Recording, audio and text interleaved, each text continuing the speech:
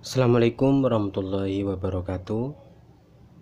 Pada video kali ini Saya akan menjelaskan bagaimana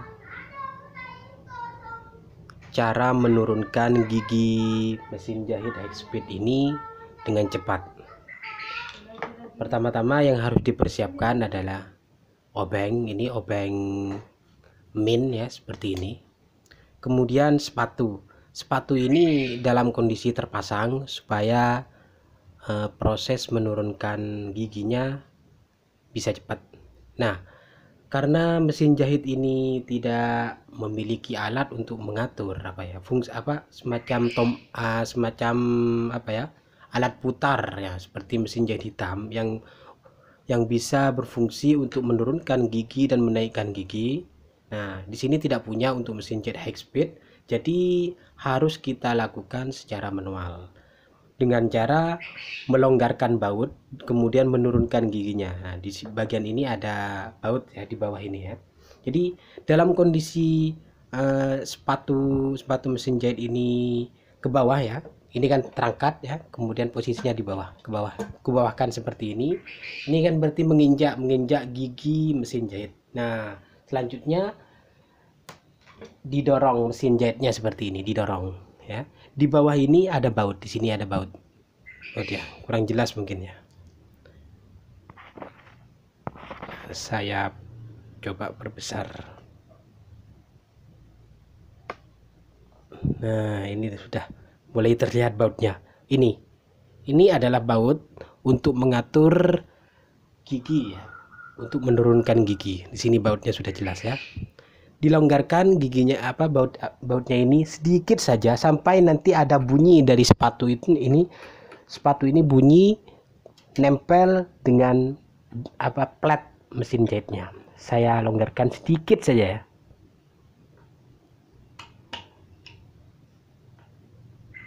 Nah ini sudah sudah terasa. Jadi sepatunya ini sudah nempel ke platnya. Kemudian di apa bautnya dikencengin lagi. Nah seperti ini selesai. Jadi sudah selesai. Kalau dibuka sepatunya ini akan terlihat jelas. Kalau giginya sudah tersembunyi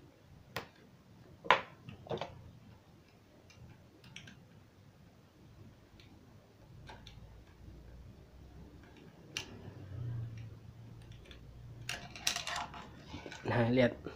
Teman-teman bisa diperhatikan. Giginya sudah tersembunyi di bawah ini ya. Sudah tidak nongol lagi. Jadi dengan uh, seperti ini nih bisa sudah digunakan untuk sepatu lubang kancing menggunakan mesin jet speed seperti ini. Untuk menaikkan giginya sama seperti tadi ya uh, ini dilonggarkan lagi kemudian naikkan giginya ini dengan cara ditekan. Ditekan ke atas sedikit ya jadi dilonggarkan sedikit. Kemudian gigi ini sudah naik. Nah bisa naik naik seperti ini kan? Ini jelas naiknya ya. Naik. Kemudian di apa? Dikencengin lagi bautnya. Tapi diatur dulu ya. Naiknya gigi ini harus diatur dulu. Jangan terlalu naik jangan terlalu turun. Jadi sedang-sedang saja gitu ya Nah, kira-kira seperti ini. Pokoknya dikira-kira saja ya. Jangan terlalu naik, jangan terlalu turun. Kemudian dikencengin lagi. Dikencengin sampai kenceng ya supaya tidak berubah saat dijalankan. Nah, ini sudah selesai. Giginya sudah naik lagi saya akan pasang kembali sepatunya jadi seperti itu ya teman-teman. Nah, untuk menurunkan atau menaikkan gigi mesin jahit high speed sangat mudah sekali. Jadi tidak perlu apa ya tidak perlu uh, ini harus diangkat total tinggal didorong saja gitu ya. Itu saja dari saya. Semoga video ini bisa bermanfaat. Wassalamualaikum warahmatullahi wabarakatuh